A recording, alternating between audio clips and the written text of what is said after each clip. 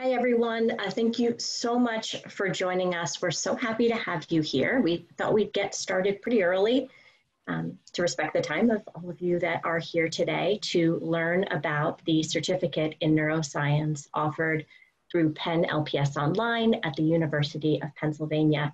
Uh, my name is Jamie Kelly, and I am the Director of Certificate and Non-Degree Programs at the College of Liberal and Professional Studies at the University of Pennsylvania. And you are here to learn about the certificate. So our, our goal in this session is that you will leave feeling like an expert in terms of what the certificate is composed of, and it will help you decide if the certificate is right for you.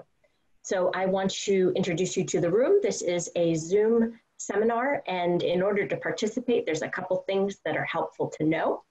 Uh, first, at I believe the bottom of your screen, you're going to see a button that says Q&A. And in that button, we encourage you to enter your questions that you have throughout the presentation. Most of those questions will be answered at the end, um, and some questions will be answered during the presentation. Another cool thing about question and answer is that you can upvote people's questions and also ask follow-up questions. So I encourage you to use the Q&A function. The next option is the chat option, and the chat option is great if you're having any technical issues during the presentation.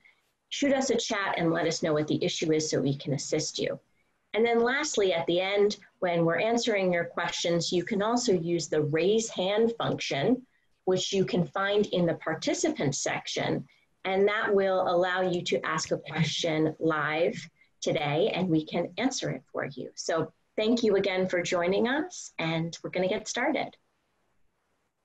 So I want to tell you a little bit about the certificate program itself. The certificate in neuroscience at the University of Pennsylvania is a four course certificate.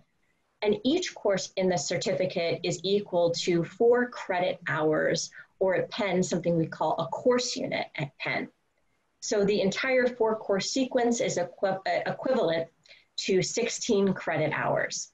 Now, these are University of Pennsylvania classes, and they are very much for credit. So it's different than something like a MOOC or learning online. These are classes that will show up on a University of Pennsylvania transcript. Each class is accelerated, it's only eight weeks. So you're going to be putting in 15 to 20 hours a week of work into every class. And you can complete this certificate on a part-time basis in one year. The classes are asynchronous, so no matter where you are in the world or when you like to study, you can participate in these classes. Um, but they are not self-paced. So you will have deadlines for assignments throughout the week, and you should expect to be participating in the class on a daily basis. The program is fully online, so again, no matter where you are in the world, you can participate in the program. And we also offer an advanced certificate for students who want to take two additional courses after completing the initial four.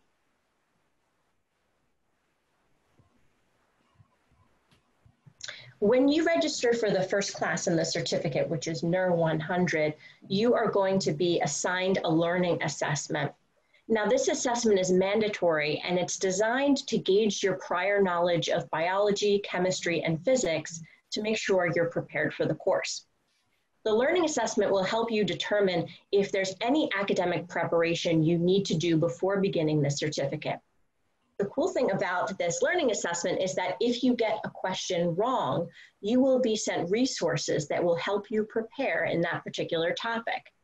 If you're unable to pass the assessment successfully, you can still remain in the course, but we recommend that you consult with your academic advisor about next steps. So next, I would like to present my colleague, Dr. Heerding, and she will tell you a little bit about the courses in the neuroscience certificate. Hi, everybody. I'm Dr. Heerding. I'm one of the instructors for the neuroscience certificate classes. So as Jamie mentioned, the first class in the sequence is Neuroscience 100, Introduction to Neuroscience. And that class is hosted on a central course site on a platform called Canvas. So you'll find all the course materials there.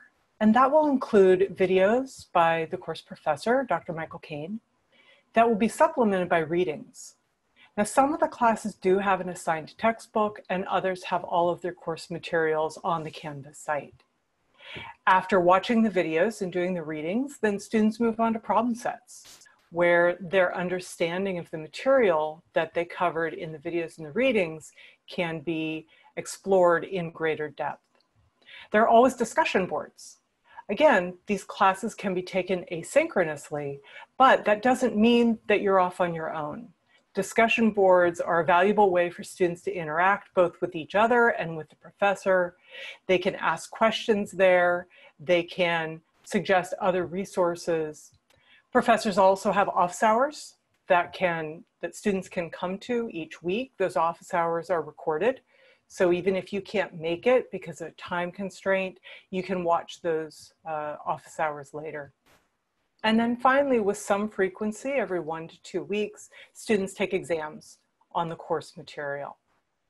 So after taking Neuroscience 100, then students can choose the courses within the area that is most interesting to them. To complete the certificate, you would take four courses, and these courses span neuroscience topics from the function of the peripheral nervous system in controlling body physiology to the function of the central nervous system in controlling behavior. We offer classes on music and neuroscience, the role of hormones in affecting behavior, as well as an advanced class on the functions of different neurotransmitter systems in behavior and disease. You can see here the different faculty members in the program. Uh, my own background is in chemistry and pharmacology. I received a bachelor's degree in chemistry from the University of California at Davis and a master's degree in chemistry from the University of California, Berkeley. My PhD is actually in pharmacology and I got it right here at the University of Pennsylvania. My thesis work was on angiotensin II, which is a hormone that's involved in body fluid regulations. After my postdoctoral work, I took the position of Associate Director for the Neuroscience undergraduate program at Penn, which I've held for more than 15 years. One common question is who would be most interested or benefit the most from the certificate in neuroscience? And I'd say there's a variety of different positions for which this certificate would be very useful uh, most obviously including people working in related science or health professions fields, people working in laboratory settings, either in academia or in industry, would benefit from an understanding of how the brain works and how it controls behavior and physiology. But people that, working, that are working in fields that are just tangential to neuroscience could also benefit from this knowledge, such as lawyers or consultants in the healthcare field.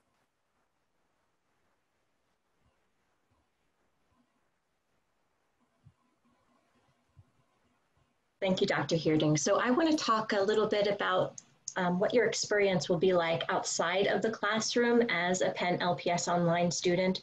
So um, your experience at Penn is not just in the classroom. There are so many wonderful support systems that will be there for you.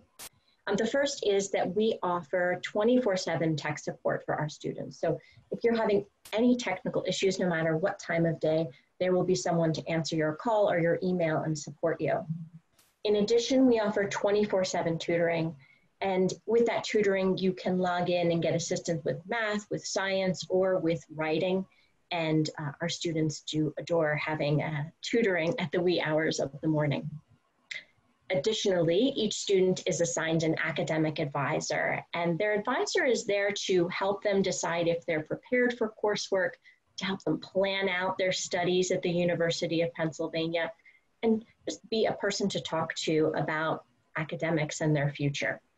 We also offer career advising, and in our career advising, we have workshops, book clubs, we work on resumes, lots of great options if you are looking for career support. We also have access to the Penn libraries, and the university libraries have robust um, online, uh, an online presence, and there's so much that you will be able to have access to as a University of Pennsylvania student. Student Disability Services is another important office at Penn. If you need um, any accommodations in the classroom, we want to get you set up with Student Disability Services early so that our instructors are prepared to support you. And lastly, I want to talk about the My Penn LPS online community. I love this community of students. It is a online space where our students can get to know each other, talk, collaborate, see what events are going on on campus, rub shoulders, maybe network a little bit. And we also host monthly chats with our staff and our students so we can get to know each other and each monthly meeting has a theme.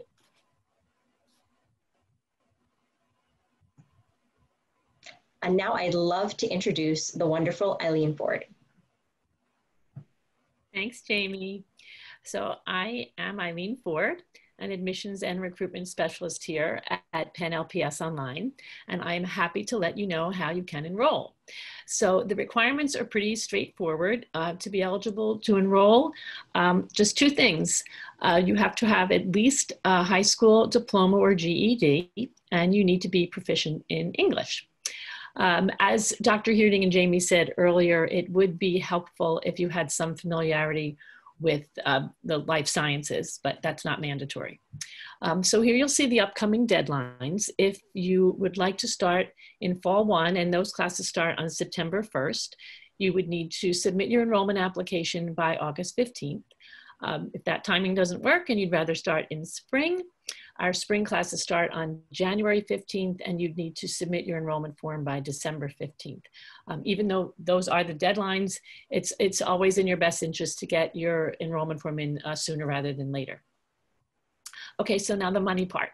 Uh, when you submit your enrollment application, there's a fee of $25. And uh, uh, the cost of each course is $24.32, $2,432 for each course. So the certificate is $97.28. Uh, but keep in mind, you will never be billed for the entire certificate at once. Uh, the bills are generated only by registration. That's what generates a bill. So you pay as you go. And uh, that's pretty much it. I'm going to pass it back to you, Jamie.